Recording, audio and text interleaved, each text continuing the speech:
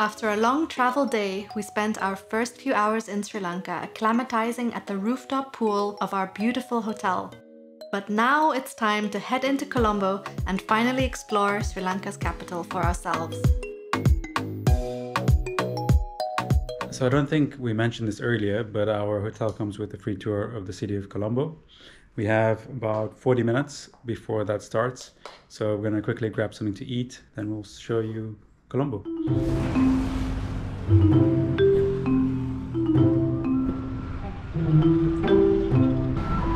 do you want? What? Is this just bread? Plain bun, plain bun. Crispy. Uh, is it sweet or savory? Sweet. Do you have something savory? Go back to the rest bun. Oh, egg bun. Okay. What's inside the egg bun? Just eggs and Egg, egg and cinnamon. I'll have one of those. Mm, quite good. Like brioche, sugary bread. So we have three sandwiches. Altogether, it was what? Altogether, it was 260 rupees, which is less than a euro. This is actually pretty good. It's quite fresh. So this is the egg and onion. Mm. Also pretty good. Mmm, so fresh and yeasty.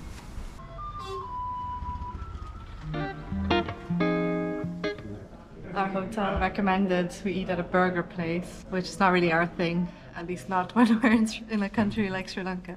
So we just started walking around the streets of our hotel and we bumped into two things we can eat just 100 meters from the hotel. First with the breads, and now we're having kulfi, which is a type of uh, yogurt tea ice cream, I think. Mm. Very nice. It's very custardy.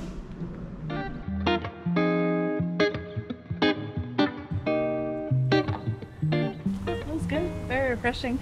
now it's back time to walk 50 meters or 100 meters back to our hotel for the tour.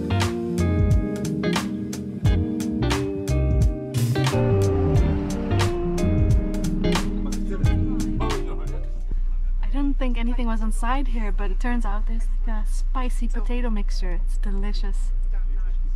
Mm. And the bread is so soft.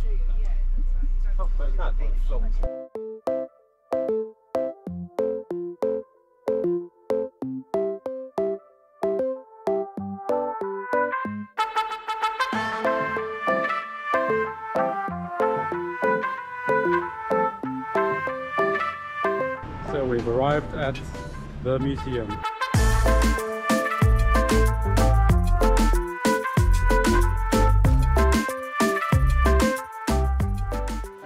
I'm no expert, but from what I read is that Sri Lanka was founded in the 5th century and the people settled here under a ruler from North India called Vijaya.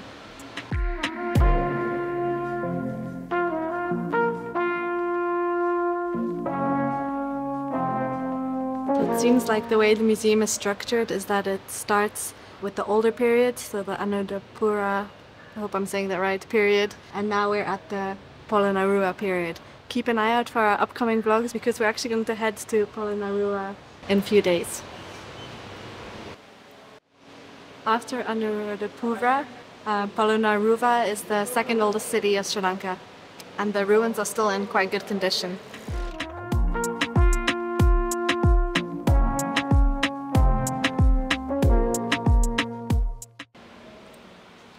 This machine is used for weaving cotton saris.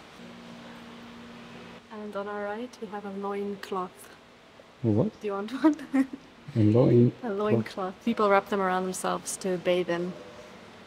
Interesting. It's not just an ordinary loin cloth. It's an elaborate loin cloth. Ceramic lion. Looks a bit like a Pokemon.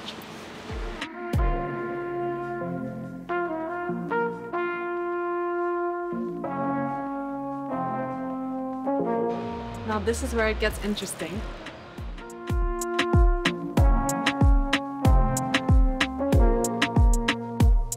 Which you can see behind me is the Shanti Karma ritual, and it's believed that this ritual can cure people's diseases. The museum is so cool, definitely worth the visit. But we have to move on to the next part of our tour.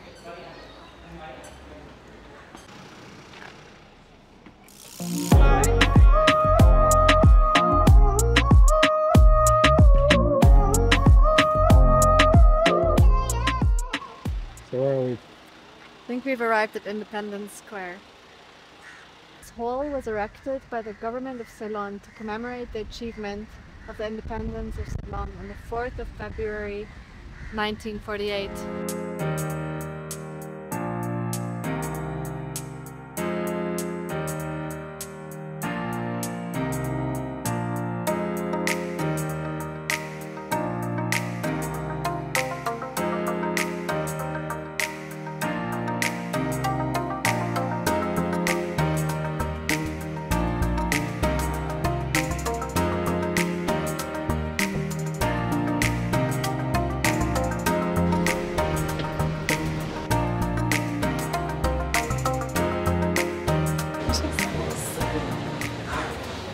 We are at the Gangaramaya temple.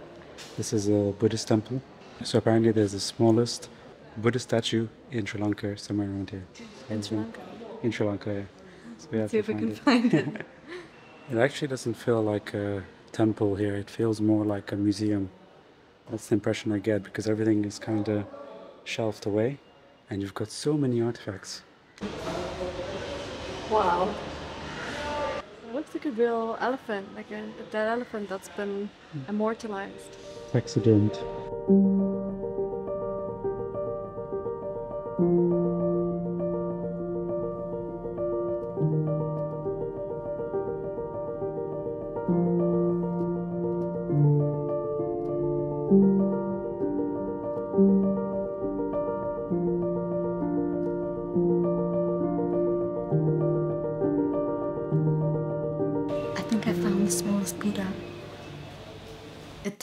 Out that is not the smallest Buddha in Sri Lanka. The smallest Buddha is so small that we couldn't even find it, and you need a magnifying glass to see it. This museum is so fascinating but so random. All of a sudden, in between the pots and candlesticks, there's a crocodile. With the net over its head, just in case it bites.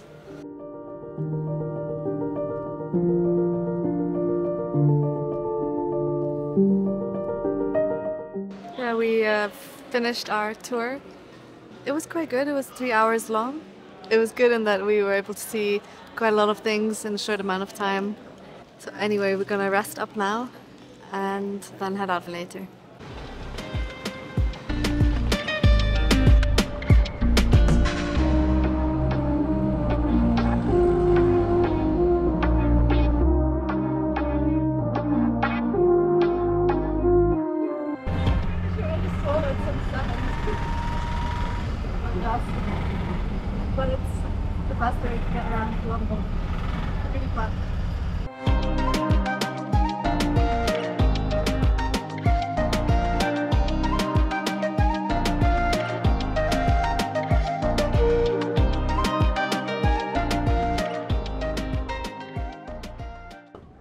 Visiting hours end at 5.30. So they're from 9.30 to 5.30 and now it's 5.05.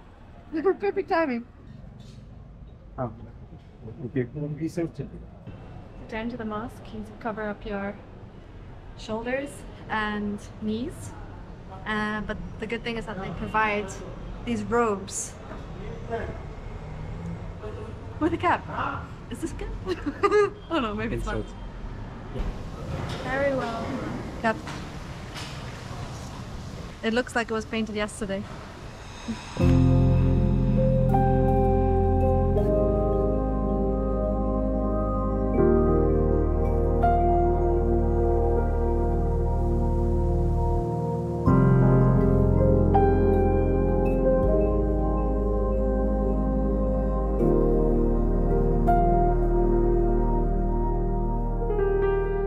Can you see like a pomegranate shape, Yeah.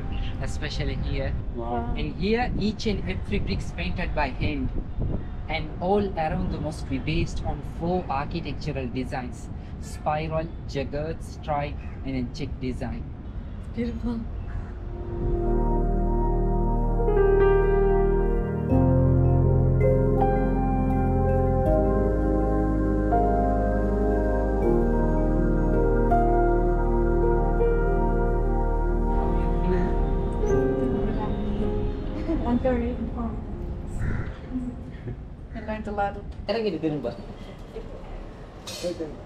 Thank you. So we just got out of the mosque and it's really beautiful. If you're going to see it, definitely ask for Muhammad. He's one of the guys, the administrators there, that could give you a guide.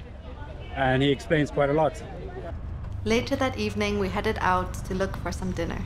It's really funny because we have ended up now at the Ministry of Crab, the well known restaurant here in Colombo for its crab, but also very pricey. And we weren't looking to spend that much for one meal. The restaurant we wanted to go to is unfortunately closed, and everyone, like everyone, we ask for recommendations says Ministry of Crab. So I guess we're going to the Ministry of Crab.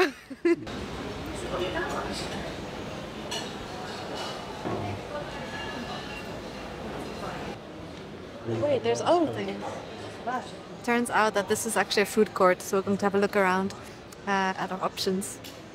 I spoke too soon. Got quite a lot actually. Apparently, the portions are very big everywhere. Mm, looks good. So I ordered a crab cobbler. So as you can see, the crab, and there are small roundish pieces of bread in it, along with tomatoes, cheese, and a few other ingredients. Thank you. Oh, it looks so beautiful. enjoy Thank you. I ordered a vegetarian spicy ravioli with eggplant inside. It's really yummy. And this crab cobbler is really delicious. I might be a little jealous, but it's okay because what's yours is mine, and what's mine is yours. So that's the end of this vlog, guys. We've had an amazing day in Colombo. And we have many more adventures coming up here in Sri Lanka. So if you don't want to miss that, then consider subscribing to our channel and hit the notification bell button so that you're notified when we post a new video. All right, we'll see you next time.